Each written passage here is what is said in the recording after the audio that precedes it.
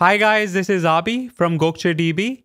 In this video, you're going to learn how to create a Route 53 health check to monitor the health and performance of your web application in AWS. Let's get into it.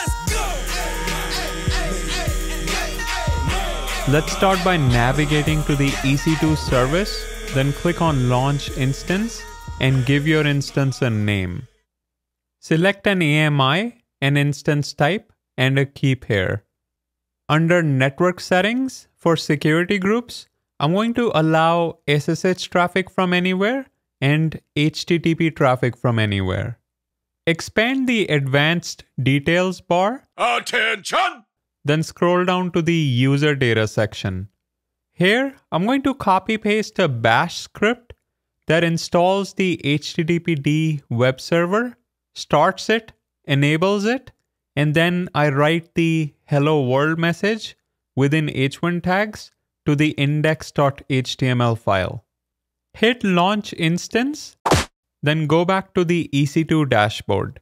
Your instance should now be in pending state. Give it a few minutes and it should eventually change to running state. Copy the public IPv4 address and paste it in a browser.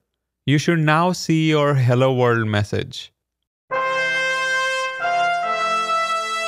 This confirms that your HTTPD web server was successfully installed. Next, let's navigate to the Route 53 service, then click on Health Checks in the left menu.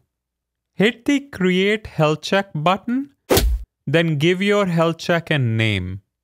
Leave the Monitor option to Endpoint, then copy paste the IPv4 address of your EC2 instance in the IP address text box.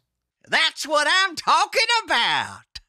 I'm going to change the request interval to 10 seconds and the failure threshold to 1.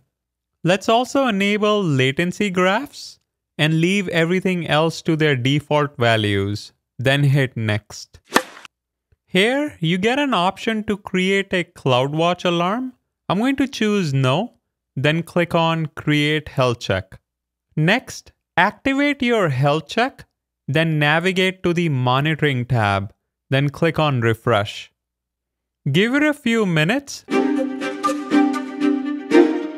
for the health check data to populate, then click on refresh again to see a health check status graph. Now, if you click on the refresh button in the top right corner, your EC2 health check status should change to healthy. To check where the health check is being performed from, navigate to the Health Checkers tab. You can also see your latency graph in the Latency tab. Now, let's try to make our EC2 health check fail. To do that, let's navigate back to the EC2 dashboard and click on the Security tab. Open your security group, then click on Edit Inbound Rules. Keep your formation! Here, I'm going to delete the rule which allows access to port 80 from anywhere, then hit save. This should prevent the Route 53 health checkers from reaching our EC2 instance. Let's head back to the Route 53 dashboard and give it a few minutes. Our EC2 health check should eventually change to unhealthy.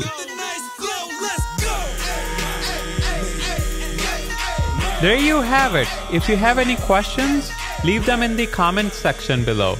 Don't forget to like, subscribe, and turn on the notification bell.